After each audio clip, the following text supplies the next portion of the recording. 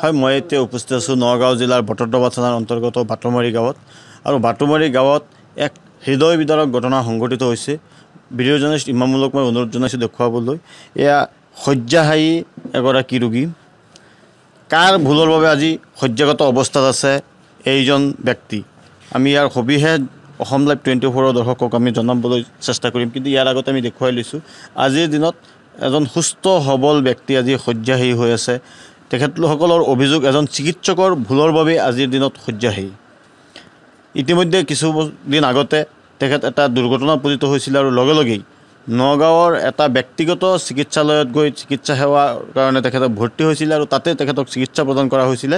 আৰু সেই চিকিৎসা প্ৰদান কৰাৰ পিছত প্ৰায় পাঁচ ছমাহ উকলি যোৱাৰ লগে লগে তাত যিটো স্কেল ভৰাই দিয়া হৈছিলে সেয়াও ভাঙি যোৱা বুলি ইতিমধ্যে যি অভিযোগ উত্থাপিত হৈছে যাৰ বাবে আজিৰ দিনত তেখেত আৰ্থিক দৈন্যতাত ভুগি তেখেত শয্যাশায়ী হৈ আছে আৰু চিকিৎসক যিজন চিকিৎসকে আগতে চিকিৎসা কৰাইছিলে সেইজন চিকিৎসকে এতিয়া সেয়া আগৰ চিকিৎসাত যি কৰে কৰা হৈছিলে সেয়া ইতিমধ্যে ভাঙি যোৱা বুলি প্ৰকাশ কৰিছে। আমাৰ লগত ইয়াত তেখেতসকলৰ ঘৰৰ মানুহ আছে আমি জানিব বিচাৰিম। হয় কি হৈছিলে? আপুনি কি ক'ব? কি হৈছিলে? এতিয়া প্ৰথমতে আমি নিউজ টাইম অসমক ধন্যবাদ জনাইছোঁ। আৰু লগতে আমি বাটমাৰী গাঁৱৰ মোৰ আব্দুল হক মোৰ চাচা হয় মিনিমাম ছয় সাত মাহ আগত গাড়ী এক্সিডেণ্ট হৈছিলে। আমি নগাঁৱৰ এজ এ হস্পিটেলত লৈ গৈছিলোঁ। তাতে অঞ্জন বৰা ছাৰে মানে দেখাইছিলে। আহ, দেখুওৱাৰ পিছত অঞ্জন ছাৰে কৈছে যে এইটো অপাৰেশ্যন লাগে। তেতিয়া আমি তথালিকে মাটি বাৰী বিক্ৰী কৰি আমি অপাৰেশ্যন কৰাইছিলোঁ। অপাৰেশ্যন কৰাৰ প্ৰায় সাত আঠ মাহ পিছত আকৌ আমি এক্সাৰ কৰাইছোঁ। এক্সাৰ পিছত কৈছে যে এইটো আকৌ প্লেট যিটো বঢ়াইছে এইটো ভাঙি গৈছে। ভাঙি যোৱাৰ পিছত এতিয়া অঞ্জন ছাৰে কৈছে যে নাই এতিয়া ষাঠি সত্তৰ হাজাৰ টকা লাগিব তেনেহ'লে তোমালোকে লৈ আহা পিছত আমি অপাৰেশ্যন কৰিম। এতিয়া আমাৰ তাত মানে টকাই নাই কি কৰিম? এতিয়া যদি আমাৰ অঞ্জন ছাৰে যদি এতিয়া কিবা বিহিত ব্যৱস্থা নলয় হে তেনেহ'লে আমি এ, ন্যায়প্ৰাপ্তত হৈ আইনৰ ওচৰত যাব মানে খুজিছোঁ। আপুনি কি ভবা কি ভাবে আচলতে কি অঞ্জন বৰাই কি ভুল চিকিৎসা কৰিছিল নেকি? যাৰ বাবে তেখেতৰ ভুলৰ বাবে ভাঙি গৈছে নেকি? কি এইটোতো আমি আচলতে তেনেকুৱা মানুহ নহয়। আচলতে এইটো চাগে চাগে ভুল চিকিৎসা কৰিছে। নহ'লেতো ভাঙি নাযায়। এইটোৱে হ'ব চাগে।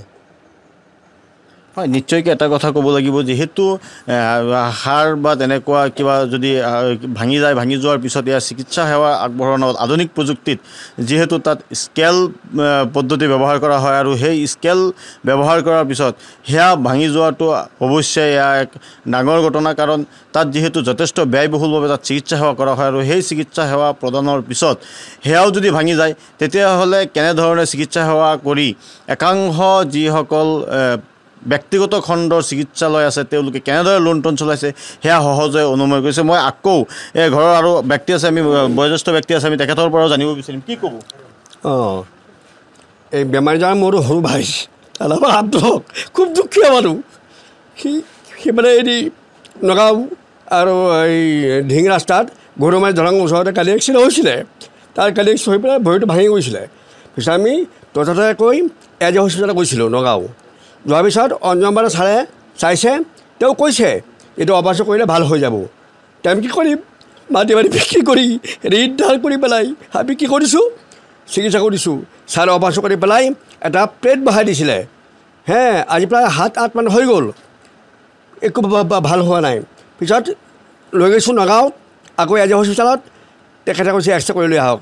এক্সৰে কৰি আনিছোঁ প্লেটটো ভাঙি গ'ল। এতিয়া আমি কি কৰোঁ? তাৰপিছত প্লেটটো ভাঙি নেকি? আচলতে এনেকুৱা শুনিছে নেকি এতিয়া? আমি যিমান শুনা নাই প্লেট ভৰাৰ পিছত প্লেট ভাঙি যায় আমি যিমান শুনা নাই।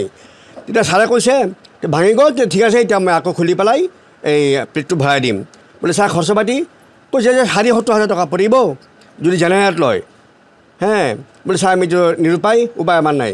কৈ নহয় আপুনি এডমিশ্যন ল'ব লাগিব।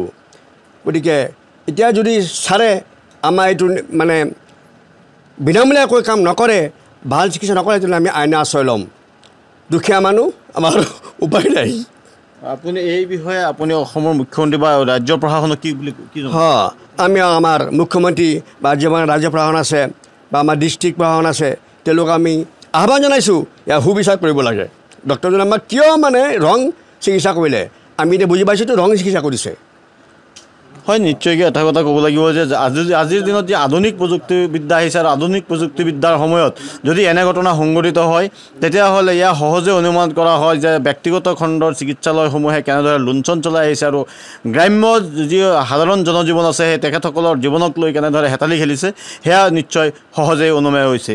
ইয়াৰ বিৰুদ্ধে ৰাজ্যৰ প্ৰশাসনে এই বাতৰি সম্প্ৰচাৰৰ পিছত কেনেধৰণে ব্যৱস্থা গ্ৰহণ কৰিব সেয়া হ'ব লক্ষণীয়।